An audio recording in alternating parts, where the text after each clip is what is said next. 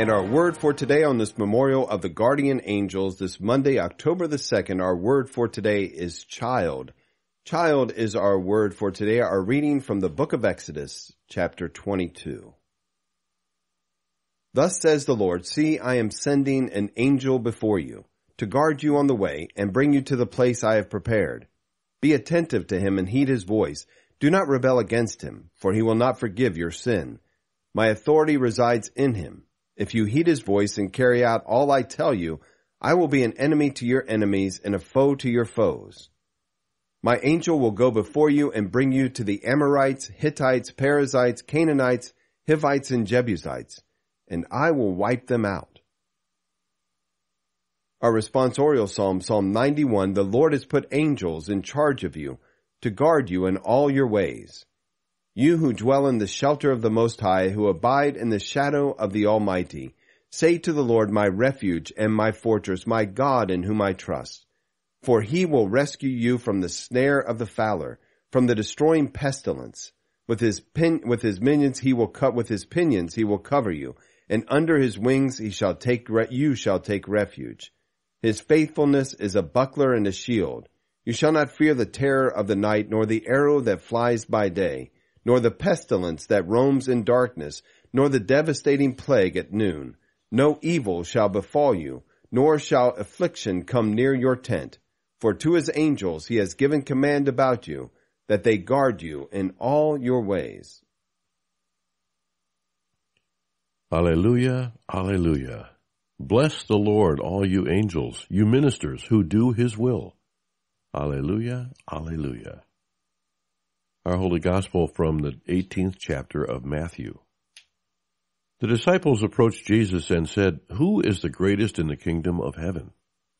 He called a child over, placed it in their midst, and said, Amen, I say to you, unless you turn and become like children, you will not enter the kingdom of heaven.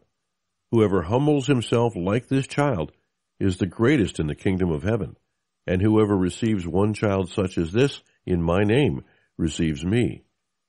See that you do not despise one of these little ones, for I say to you that their angels in heaven always look upon the face of my heavenly Father. Hmm. And our word for today is child. Our Holy Father's thoughts regarding today's gospel reading, these he shared at his general audience on March the 18th, 2015. We are all sons and daughters. And this always brings us back to the fact that we did not give ourselves life, but that we received it. The great gift of life is the first gift that we received. Sometimes in life, we risk forgetting about this, as if we were the masters of our own existence, and instead we are fundamental, fundamentally dependent.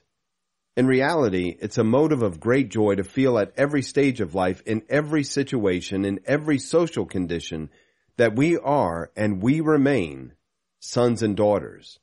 This is the main message that children give us by their very presence. Simply by their presence, they remind us that each and every one of us is a son or daughter. A child has spontaneous trust in his father and mother. He has spontaneous trust in God, in Jesus, in Our Lady.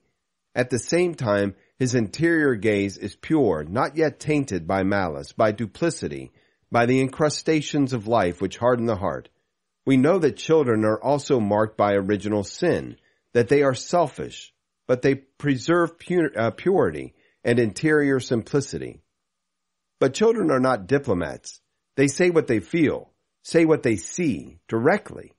Children, in their interior simplicity, bring with them the capacity to receive and give tenderness.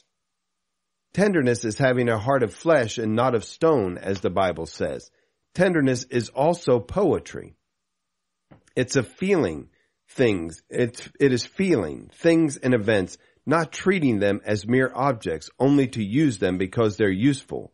For all these reasons, Jesus invited his disciples to become like children, because the kingdom of God belongs to those who are like them. Again, tenderness is having a heart of flesh and not of stone. Tenderness is also poetry. It is feeling things and events, not treating them as objects only to use them because they are useful.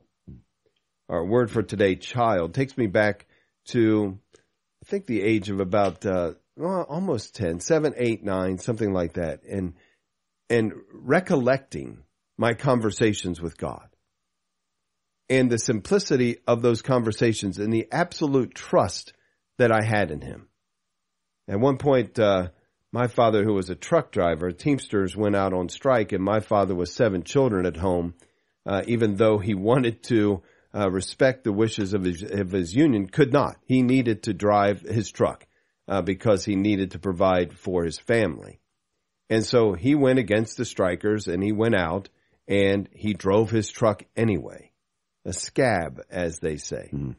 But a man who needed to make provision for his family and was not going to let anything get in the way. So, in the midst of this strike in 1975, 76, I can recall with some, mm. with some accuracy, um, there were truck drivers who had gone against the union and were out driving, and one in particular got shot dead uh, by those who were protesting. And my father was out there, and I remember thinking and knowing the danger that he had put himself in to provide for my family. And I remember talking to God about it.